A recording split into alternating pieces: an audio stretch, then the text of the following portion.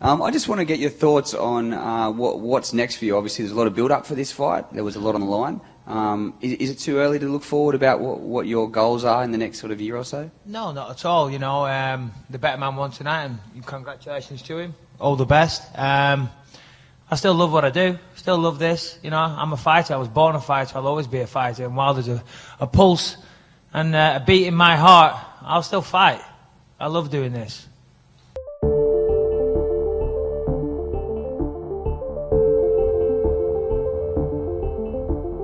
Uh, yeah, I, I, never get ahead of myself. F fighters, the careers are done and gone. You know, they're yesterday's news and it's all over. So, you know, I, have never let that change me as a person or who I am. I'm just an average guy from Clitheroe, small class, small working class town, and just just trying to get by in life.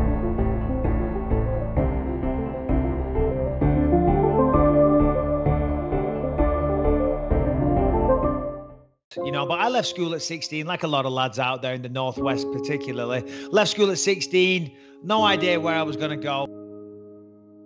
I was DJing a bit at the weekends. I was still, still, you know, dabbling with the mixed martial arts. I was trying to DJ, as I said. But then I came to a point where I was like, yeah, this, uh, you know, I was working hard all week, and then you pay your taxes, you get home, and there's nothing left, especially when you got two kids, and that's what it was at the time. Remember my boss at the time, he said, because we talk all day long, and he said, Michael, you're a smart kid. He said, Is this what you want to do for the rest of your life? I said, No, no offense. I don't want to do it for another week. He says, Well, give it some thought.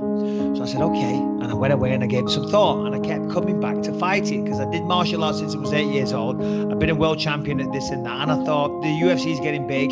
I could, you know, I fancy my chances. The Ultimate Fighter came about, and I remember watching it thinking, man, you know, th th this is cool, and I would love to be on there. Right.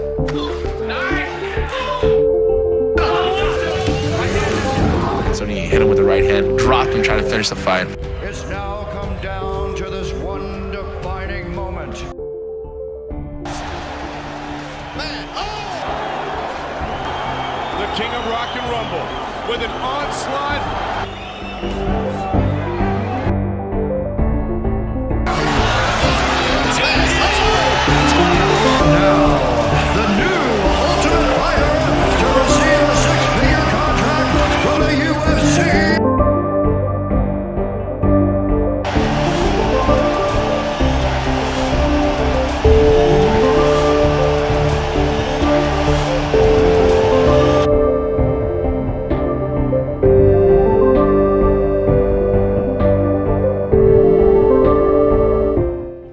I get, I get a message.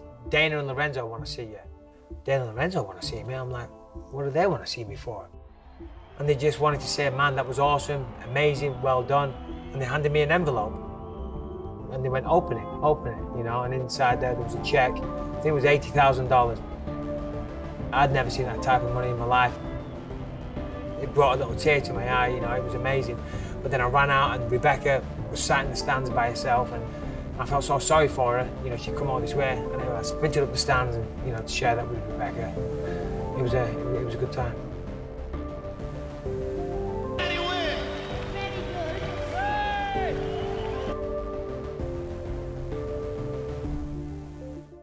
Michael was actually competing at light heavyweight. It was only when he got in there against Rashad and came up short that he decided to make the move to middleweight.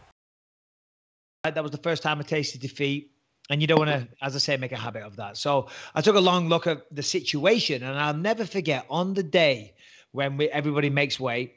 He was sat in the sauna with his whole team with the, the sweatsuits on. Uh, he's trying to kill himself almost to make the weight.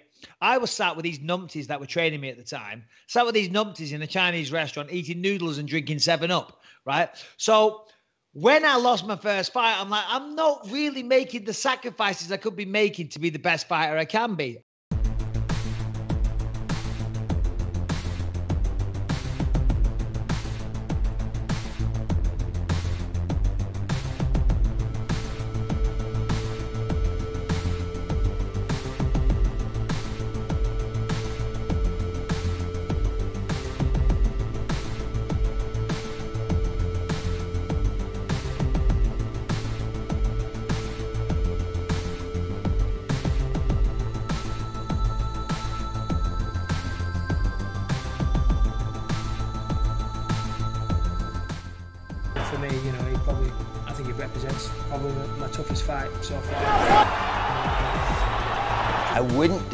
Him as a finisher. I don't see him throwing real heavy hands. I don't see him taking any risks. He's gonna lose.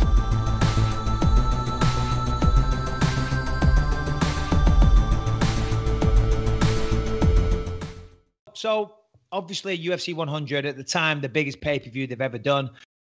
Still one of the biggest ever. Star studded event. I'm taking on Dan Henderson at the culmination of Ultimate Fighter Team UK versus Team USA. By the way, when I look back at how I behaved in those days, I cringe. I'm like, oh my God. Tune in to see the first time ever Dan Henderson's going to get knocked out.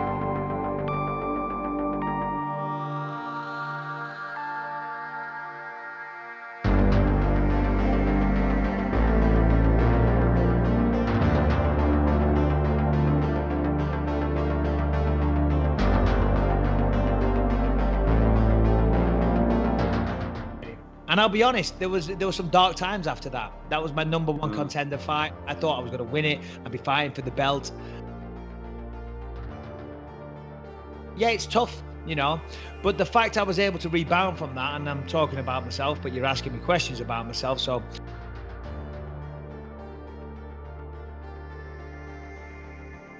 You know, people never ever bounce back from from knockouts like that of that magnitude.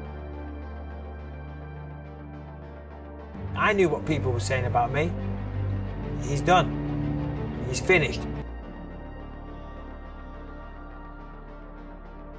I knew going into my next fight, UFC 105 against Dennis Kang in Manchester, there was a lot of pressure on me there.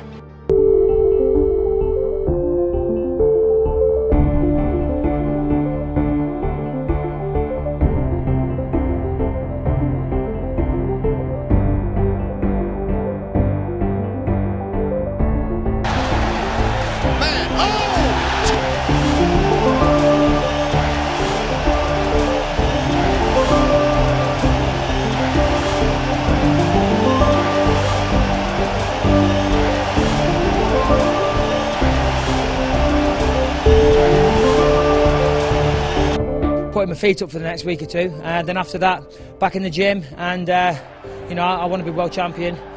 Like, I talked so much shit to you on Twitter, and you never blocked me, and now I'm a fan. You can kiss my ass. Things set for UFC 127 alongside Jorge Rivera, who faces Michael Bisping this Saturday night live on pay per view.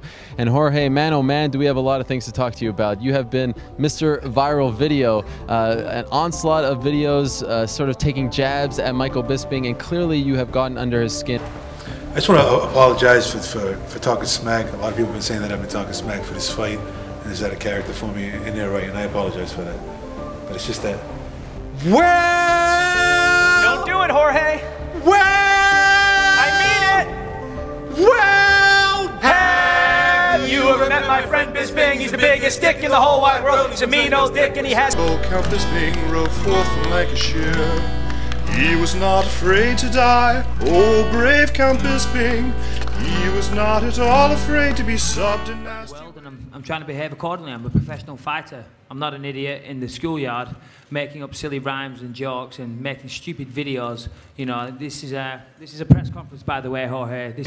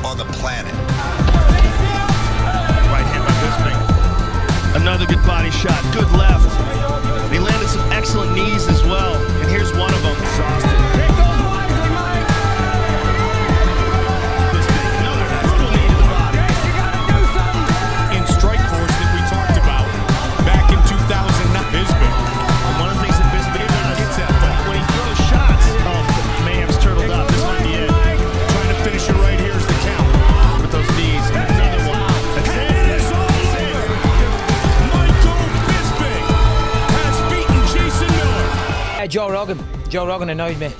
saying, "Oh, come on, can we get some love?" I was like, "Don't patronise me. I don't need their love. They want to boo, let them boo. Please don't make, stand here in front of me and beg everybody to cheer for me. You know, I don't want that. You know, if you want to boo, that's your right. Boo, go ahead, boo me all day long." Yeah, no, I, I was actually there live at that event. It was in Anaheim, which, so it's just down the street from me. And I remember when I walked in, uh, and this was back in uh, the bad boy days, if you will, or when fucking everyone in America hated me. And I walked in, and literally, because you know you don't want to get there too early, because I'm not a fucking nerd. But I walked in, main car was just starting, and 20,000 people all booed me in unison, all of them. And it was great. I looked. Could ask a question. Maybe I could ask three of Michael Bisping. First, what you gonna do when you know who? How you gonna deal with the man of steel? And how will you react to Sonnen's attack? Tune in on the 28th, 8 p.m. Eastern Time, and we will find out who the real world champion is. The guy who fights best wins, and I'm to fight the best. And he can keep his fake belt.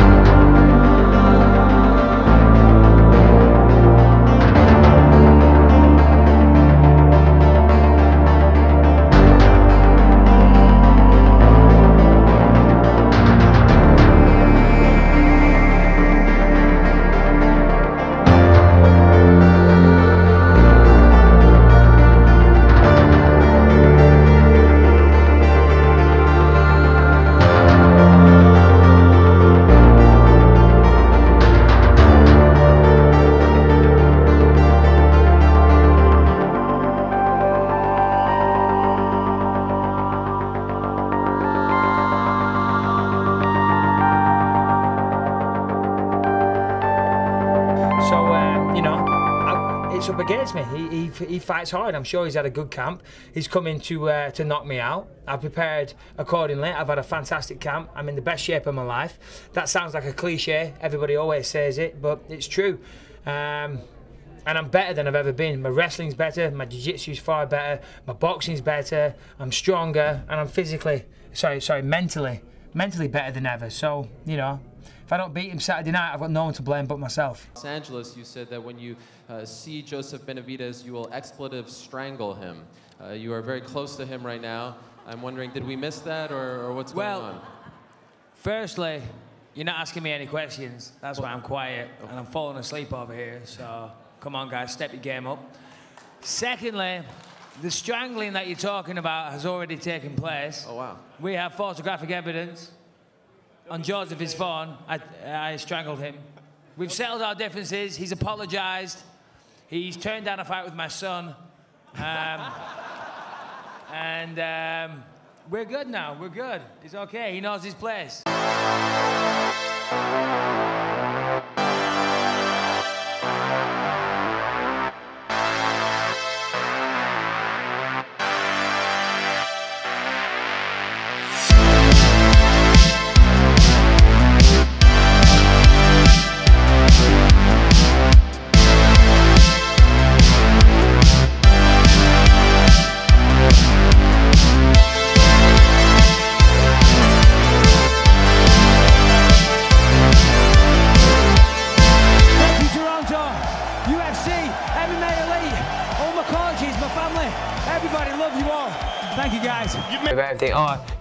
Brought into disrepute. Do I, I- my ass wasn't a pin cushion for the last 10 years. I wasn't using steroids. Who's bringing the sport into disrepute? Do you think that's a problem in our sport? A massive problem. How so? I don't take steroids, ever in my life. I know a lot of people do. So there's the problem. Testosterone replacement therapy. What do you think of that? I think it's absolute Yeah. You got a guy who's 37 years old, Much smarter. who's also hopped up on applesauce and throwing fucking wheel kicks at people. And there's just a different. He was a different animal Oh. because he had so much knowledge behind him, but his body was moving like a young man's body. He's doing straight testosterone. He's not. I mean, when he was on. See, think about this, right? We know for sure, we all know, absolutely 100% that people have cheated and taken steroids and got away with it.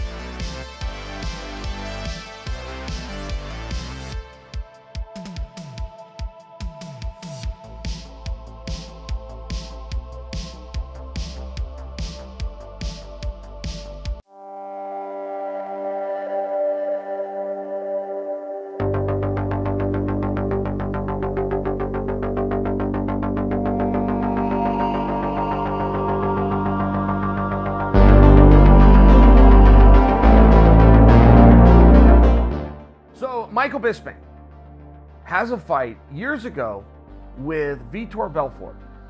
So somewhere in that fight, Vitor Bisping hurts his eye. I think he gets punched right in the eye. It's a very long time ago, and he had eye problems ever since. when I detached my retina, um, they did what's called a scleral buckle. Uh, and if, if, if you've watched the surgery, it's absolutely disgusting. I mean, I was able to pass the test. To pass, to be able to clear by commission to fight, you got to have 2200 vision, which I was able to scrape by with the skin of my teeth. Wow. You know, so, and my doctor was always amazed that, that I could still see to that amount. If I if I squinted in the right direction and I turned here and the light was just right, I could just about make out 2200. TRT Belfort. TRT Vitor Belfort forever. Yeah. On there, I was trying to get a rise out of him, and he kept putting his hand in my face. I'm not a religious guy, and, and you know, God bless anyone that is. You know, I, I, I mean that. I respect everyone's opinions, but I'm not. And as we know, Vitor is heavily religious, and he kept sticking his thing in my face. He was pissing me off. So I said, Vitor, come here, come here. And he leans in. I said, There is no Jesus. maybe, maybe there is. Oh. Maybe there is. You know, me getting uh, dropped with a head kick in the second round. May- may- maybe that was God thwarting me. Who knows? What did he say? Some fucking Portuguese bullshit. I don't know. Sit there at night and get drunk and watch my old fights. I've never done that once. But if I ever do see some old fights back, which occasion just happens by chance, you know, I, afterwards, I'm always calling for a shot at the belt or whatever. I, I said to my wife, I said, what the fuck was this guy thinking? Do you know what I mean? He's out of his mind, you know, absolutely out of his mind. But at that time, it, it- quitting and trying to not become the champion did not even occur to me for a split second.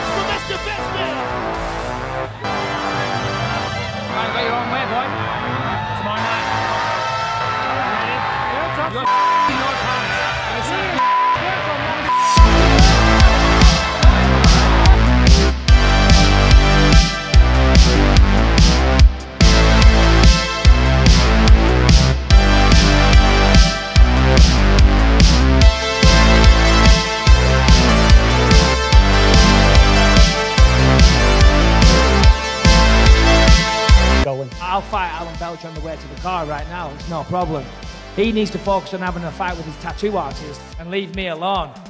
It took me a long time to find the right coach. I think to myself, this guy could be champion. We just have to get this thing right.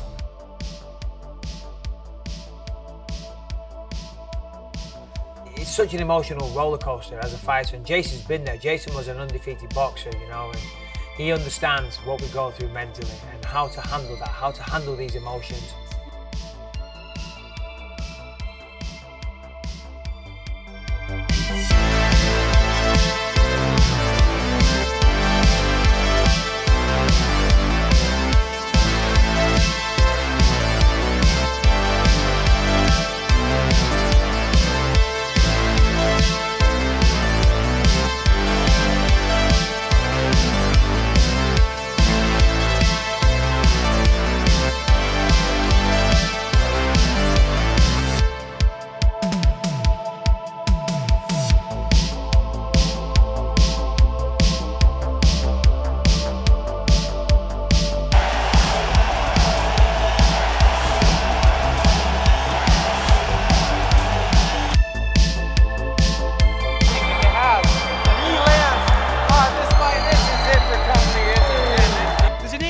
called Luke Rockhold, who doesn't stop talking about me. I think he has the hearts for me, to be honest.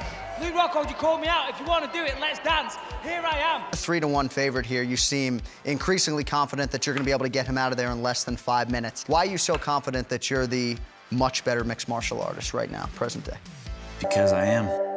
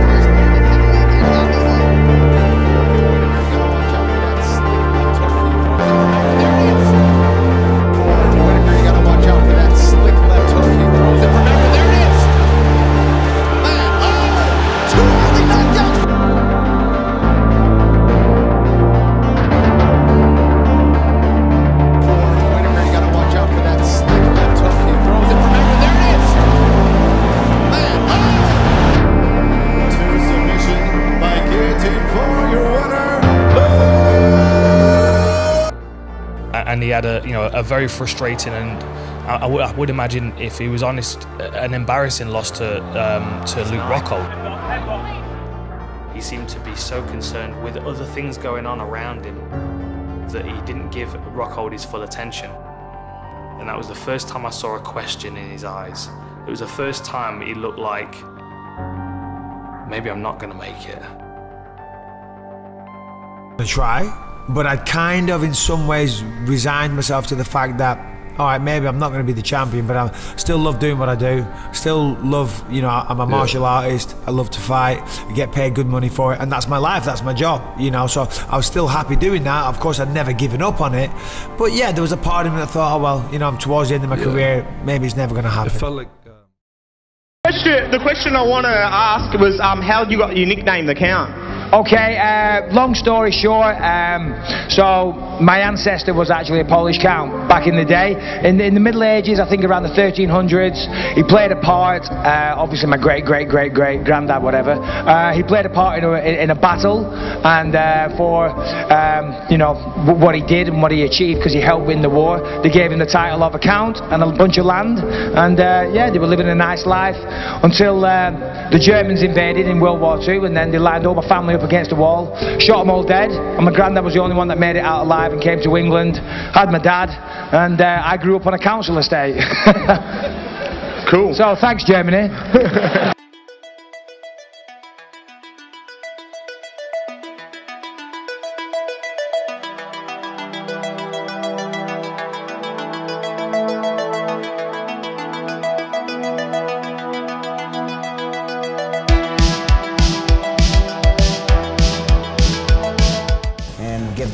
fans what they want and score that big knockout in Canada.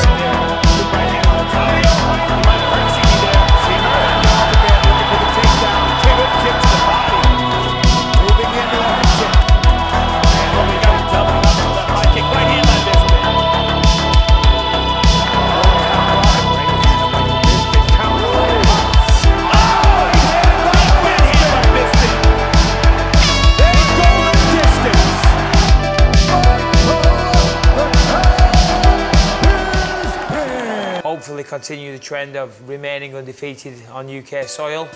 It's a tough test. Obviously Anderson Silva is um, he's a legend, one of the greatest of all time, of course. Say that Okay, you wanted to win that first one. You wanted to win the cage rage, You wanted to win the tough. You won all those fights, all like the big ones, except for the big one now, right? Except for the number one contender fight. Exactly. That's the, that's the only one you haven't won. Yeah, And sure. now here we are again. No, I know, I know. It's it's uh, it's poetic. It's the UFC, of course, back in London. You know, this is my home country, and London's the nation's capital. The O2 Arena in front of my home people. I was super excited. But it's a fight that I wanted for so long. It's a fight that I can. I think if I win this, you know, when I win this, uh, there's only two people in the UFC to ever beat him. Me being one of them. Um, I think it puts me in line for a title shot. But when he stepped in there against Anderson Silva, like for me, that was when everything came together for Michael. Like Cung Le, I expected him to beat Cung Le. I expect Michael Bisping to beat Cung Le every time they fight.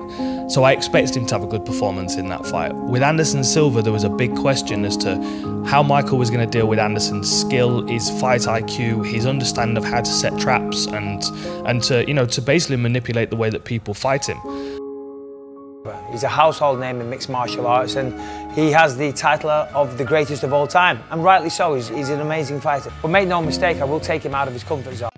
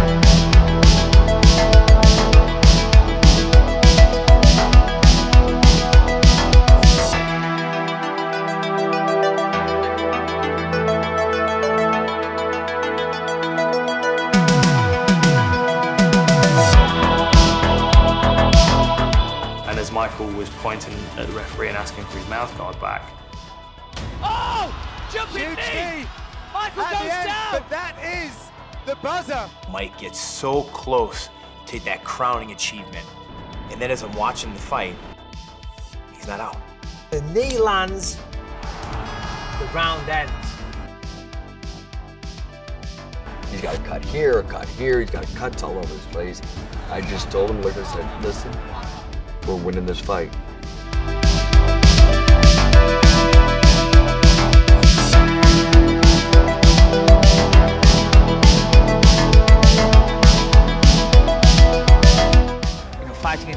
Capital at the O2 Arena, sold out against Anderson Silva. It doesn't get any better than that. And the fight was a war. It was a back and forth battle. Bisping focusing very much on his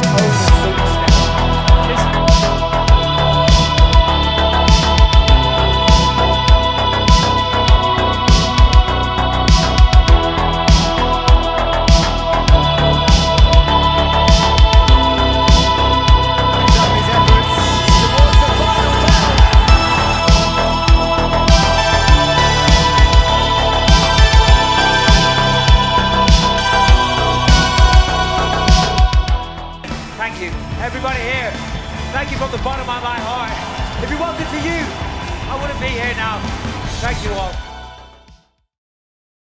decade in the sport. I live in a beautiful house. I've got a beautiful wife. I've got amazing children. Life is blessed, but I want this. I'm hungry as hell, and I want this more than anybody.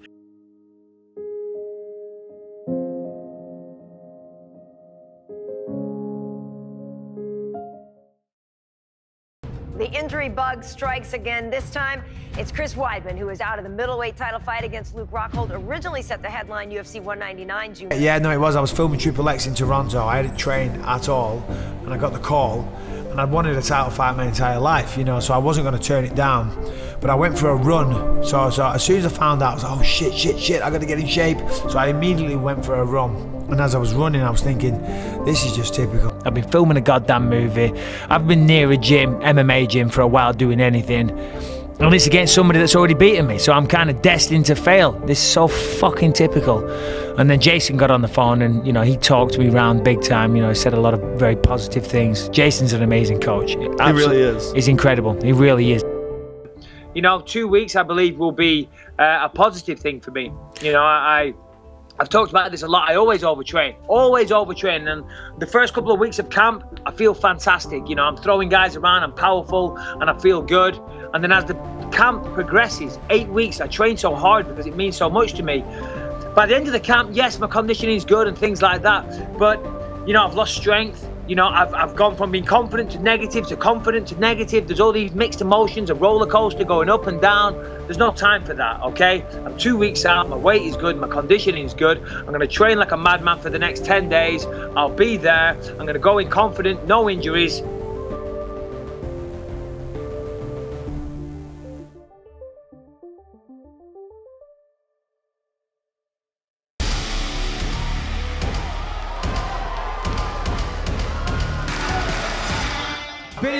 UFC for over 10 years, okay? I fought the best in the world. I've had my ups and my downs, but you can't keep a good man down. I'm here. I do believe this is my destiny. Thank you all for being here. This guy, Luke Rockhold, I know is a great fighter, but I'll tell you this, there's not a single person in the world I would rather take the belt off than this smug right here.